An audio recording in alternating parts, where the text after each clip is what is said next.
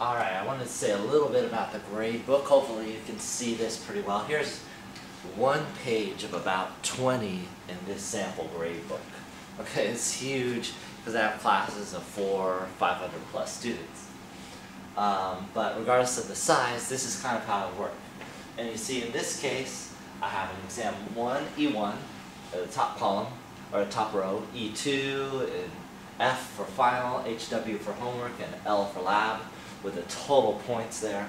What I did is I just weighted all the scores according to my syllabus and calculated the total in Excel you see on the right hand column. Now at the very bottom right hand corner you see the average and the standard deviation which in this case is 64.453 uh, for the average and 12.312 for the standard deviation. For my class, this is a pretty typical, at the end of the quarter, pretty typical um, average and standard deviation. Um, usually I'm lying in the low, somewhere in the 60s for an average, and a standard deviation of 12 to 15 is pretty normal for me. But again, it's going to depend on the class and the difficulty of the class and uh, that sort of thing. But for me, because there's so such a big population, i.e. more than 500 students at a time, um, these averages don't change very much. So I almost have a fixed curve, but not really. There is variation depending on uh, some certain factors. So, but what I do, you can see, um, and I uh, did include the SID numbers or student ID numbers, but I don't, I'm not looking at people's names when I make these. Um, and uh, most of the instructors aren't either. So this is just, unfortunately, we might know you in office hours or from lecture, but here you're just a number and that's your student ID number to make it as fair as possible. And here I'm showing five significant figures in the total column. Uh, of course in Excel you know you can go even further.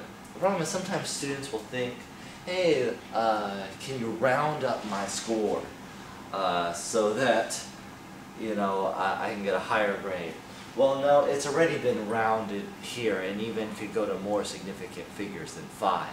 So rounding's not an issue in your script. Rounding's not going to raise or lower your grade at all. Um, it, it, wouldn't be even fair to do so. Now, uh, what about mis, uh, you know, things that are graded or entered incorrectly? Well, those things you want to let your instructor know of. Uh, in my case, rarely, I have usually about two and for every 500 students uh, find mistake. That's about one third of 1%. Uh, just because even if there is mistake found, rarely does that take you over the grade line.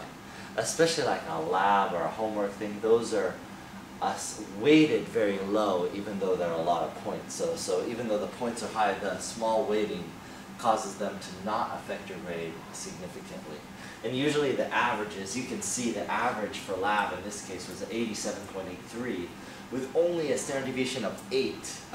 so that's a spike. Lab is a spike. Homework's a little wider uh, with a 76 uh, percent. So that's in this case because a lot of students didn't do the homework that quarter, so they got zeros. so that's why the standard deviation is so high. But in this case, if you're in this class, you say, oh, it means about 64, 65. I add 12 to that, so what's that? 64 plus 12, 76. So that 76 would be a high B, because this mean here would be a high C. Okay, and kind of figure out your grade like that, according to the mean and the standard deviation.